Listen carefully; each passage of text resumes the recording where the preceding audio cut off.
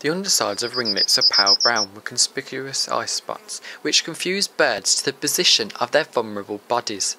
The string of false eyes on the underside of their wings gives them the name ringlet. Males can almost be black. They prefer damp places, both meadows, open paths and clearings in woods. It's absent from northern Scotland and the Western Isles. Like meadow browns, their caterpillars feed on various grasses. Small heaths are a widespread species, with the exception of the Shetlands, Orkneys and mountainous regions. Despite its name, the small heath is not confined to heathland and can be found in a wide variety of habitats. Their appearance is fairly uniform, with one exception, the false ringlet, which looks remarkably like a small ringlet. They always settle with their wings closed, where the eye spot on the underside of the forewing is usually visible, acting as a decoy to any predator. Despite the similarity between females and males, early butterfly enthusiasts had separate names for each sex. Selvedged heath brown for males, and the golden heath eye for females.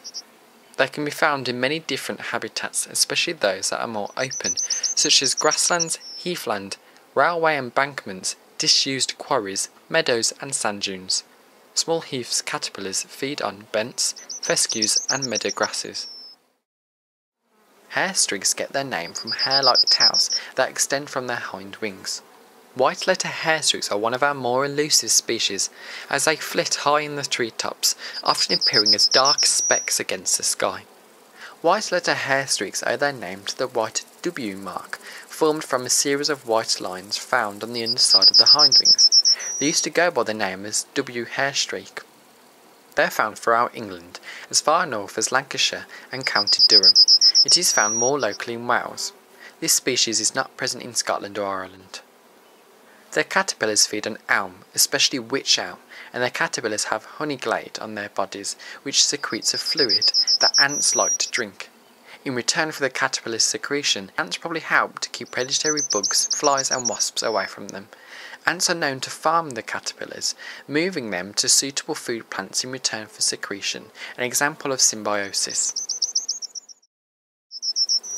Purple hair streaks are our commonest hair streak, found in oak woodland throughout southern England and Wales, with a few scattered colonies further north. It is also found in parts of Ireland. It is often difficult to locate due to its habit of flying high in the tree canopy where it feeds on honeydew.